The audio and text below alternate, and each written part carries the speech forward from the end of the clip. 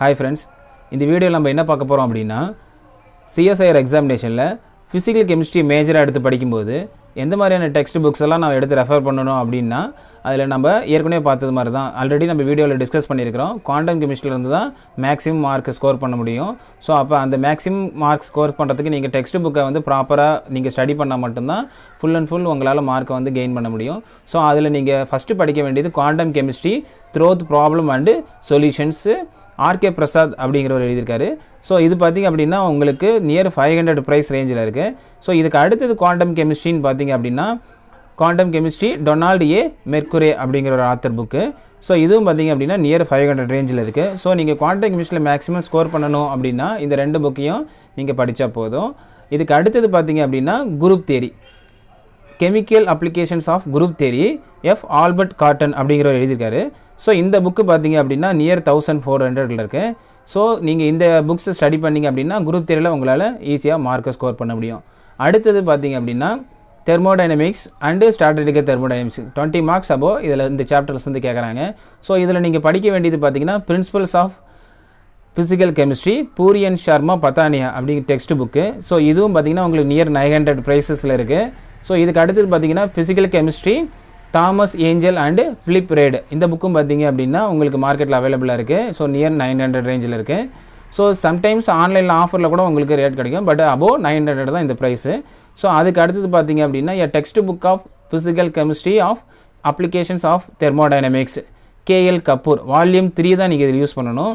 So அப்போ இதில் பார்த்தீங்கன்னா கேஎல் கபூர் வந்து நிறையா வால்யூம்ஸ் இருக்குது வால்யூம் டூ த்ரீ ஃபோர் ஃபைவ்லாம் இருக்குது ஸோ நீங்கள் thermodynamics and statistical thermodynamics application ஓரியன்டாக நீங்கள் படிக்கணும் தெரிஞ்சுக்கணும் அப்படின்னா நீங்கள் இந்த வால்யூம் த்ரீயை நீங்கள் வந்து ஸ்டடி பண்ணிக்கலாம். இதோடைய ப்ரைஸ் பார்த்தீங்கன்னா நியர் ஃபைவ் ஹண்ட்ரட் ரேஞ்சில் இருக்குது ஸோ இதுக்கு அடுத்தது பார்த்தீங்கன்னா கெமிக்கல் கைனடிக்ஸ் கெமிக்கல் கைனடிக்ஸும் எலக்ட்ரோ கெமிஸ்ட்ரிலையும் பார்த்தீங்கன்னா உங்களுக்கு more than twenty marks questions இருக்குது ஸோ அதில் நீங்கள் கெமிக்கல் கைனடிக்ஸ் அப்படி நீங்கள் படிக்கிறீங்க அப்படின்னா தேர்ட் எடிஷனாக இருக்க கெய்த் ஜே லேடர் அப்படிங்கிற புக்கை வந்து நீங்கள் ஸ்டடி பண்ணணும். அதுக்கு அடுத்தது பார்த்தீங்கன்னா chemical kinetics and catalysis Richard L Marshall அப்படிங்கிறோடைய book இருக்குது ஸோ இதுவும் பார்த்தீங்கன்னா உங்களுக்கு மார்க்கெட்டில் அவைலபிளாக இருக்குது ஸோ அதுக்கு அடுத்தது பார்த்தீங்கன்னா a text book of physical chemistry dynamics of chemical reactions statistical thermodynamics macromolecules and irreversible process இதுவும் பார்த்தீங்கன்னா கேஎல் கபூர் வால்யூம் ஃபிஃப்த்து பார்த்தீங்க அப்படின்னா கைனடிக்ஸ் அண்ட் கேட்டலிசிஸ்க்கு மோர் யூஸ்ஃபுல்லாக இருக்கும். இதுக்கு அடுத்தது பார்த்தீங்க அப்படின்னா and introduction to electrochemistry so Samuel Glasstone அப்படிங்கிற ரைட் பண்ணியிருக்காரு ஸோ இந்த புக்கும் பார்த்தீங்கன்னா நியர் த்ரீ ஹண்ட்ரட் ரேஞ்சில் இருக்குது ஸோ இந்த புக்கு எலக்ட்ரோ கெமிஸ்ட்ரிக்கு ரொம்ப ரொம்ப யூஸ்ஃபுல்லாக இருக்கும்.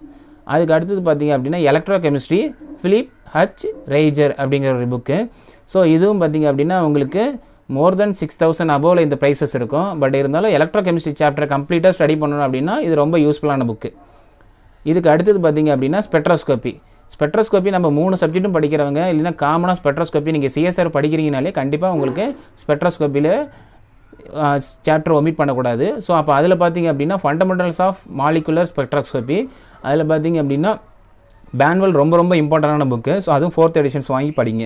அதுக்கு அடுத்தது பார்த்தீங்கன்னா physical methods for chemist Russell S Drago இந்த புக்கு பார்த்தீங்க அப்படின்னா உங்களுக்கு ரொம்ப யூஸ்ஃபுல்லாக இருக்கும் ஸ்பெட்ரோஸ்கோபில் ஸ்டடீஸ்க்கு அதுக்கு அடுத்தது பார்த்தீங்க அப்படின்னா சர்ஃபேஸ் கெமிஸ்ட்ரி எ கோல் அப்படிங்கிற ரைட் பண்ணியிருக்கிறாரு.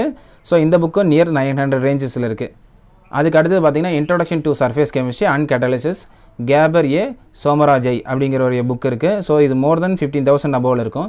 சார் இப்போ நான் ஃபிசிக்கல் கெமிஸ்ட்ரியை வந்து நான் வந்து ஃபுல் ஃபுல்லாக நான் வந்து ஃபிசிக்கல் கெமிஸ்ட்ரி மட்டும் நான் எடுத்து ஸ்டடி பண்ணுறேன் கம்ப்ளீட்டாக ஃபிசிக்கல் கெமிஸ்ட்ரியை ஃபோக்கஸ் பண்ணுறேன் அப்படின்னா நீங்கள் இதில் இருக்கக்கூடிய மேக்ஸிமம் புக்ஸ் உங்களால் எவ்வளோ கவர் பண்ணி படிக்க முடியுமோ அவ்வளோ கவர் பண்ணி படிக்கணும்.